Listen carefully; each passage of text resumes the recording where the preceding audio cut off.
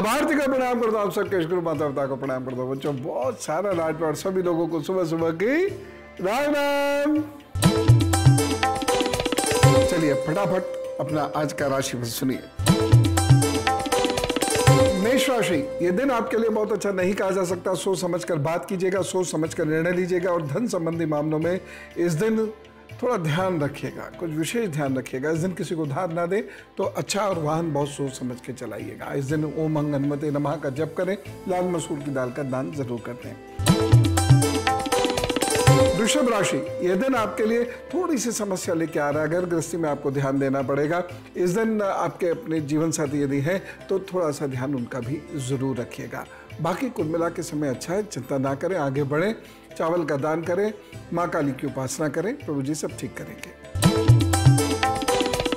मिथुन राशि क्रोध की वजह से नुकसान होता हुआ दिखाई दे रहा है। इस दिन जल्दबाजी में यदि आपने किसी को धन दिया तो नुकसान हो जाएगा। इसलिए ध्यान रखिएगा उस चीज़ का।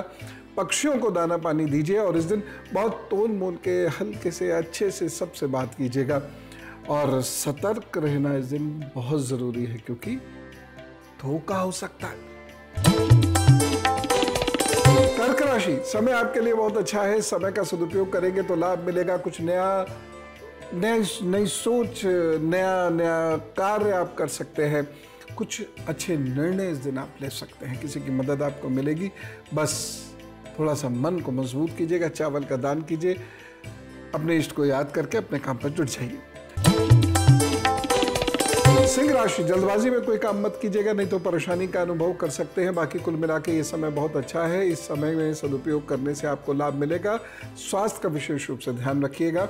सूर्य के सामने बैठें और अपने इष्ट को याद करें, फिर अपने काम पर जुटे, प्रभु सब ठीक करेंगे। कन्या राशि, जल्दबाजी में कोई फैसला लेंगे तो नुकसान हो सकता है। बाकी कुल मिला के समय अच्छा है। भीड़ भाड़ के इलाके में जाएँ तो थोड़ा अपना ध्यान रखिएगा। वाहन ध्यान से चलाइएगा। इस दिन आप दूध या दूध से बनी हुई चीज़ का दान ज़रूर कर दें। तुला राशि यह दिन अच्छा है, आपके अंदर ओझ है, अच्छी सोच है, अच्छी भाषा और अच्छे विचारों की और इसमें ज़रूरत है, वो अगर मिल गए तो तो ये ये दिन आपका बहुत अच्छे परिणाम आपको दे सकता है। हनुमान जी को याद करिएगा, शिवलिंग पर जल चढ़ा के अपने काम पर जुटिएगा। वृश्चिक राशि, यह दिन आपको जल्दबाजी की बजाय धैर्य से चलने पर लाभ देने वाला है। किसी भी चीज़ में कोई जल्दबाजी मत कीजिएगा। अति का उत्साह आपको नुकसान दे सकता है। तो थोड़ा संतुलित व्यवहार करें, अपने काम पर जुटे, प्रभु अच्छा करेंगे। और इस दिन माता जी से कोई चीज़ ग्रहण करके और उसे अपने पास रखकर फिर अपने काम पर जुटिएगा तो आपको निश्चित रूप से लाभ होगा। काले कपड़े पहनने से बचना होगा। धनु राशि यह दिन आपके लिए अच्छा है, इस दिन यद्यपि लोग आपका नुकसान करने की कोशिश करेंगे, लेकिन नहीं हो पाएगा, कार्य आपका बनता रहेगा। बस घर के बुज़ुर्ग और अपने सीनियर्स का ख्याल रखने की ज़रूरत है। इस दिन पीले वस्त्र धारण करें या पीले रंग का धागा दाहिनी कलाई में बांधें और इस दिन गौ माता की किसी भी रूप में सेवा करें, फिर काम पर जुटे, सब ठीक होगा। मकर राशि, समय आपके लिए अनुकूल है। समय का सदुपयोग करना पड़ेगा। बस धन संबंधी मामलों में दिन थोड़ा सा कमज़ोर है, उसका ख्याल रखेंगे तो ज़्यादा अच्छा रहेगा। पके हुए भोजन का दान कर दीजिए तो सब ठीक करेंगे।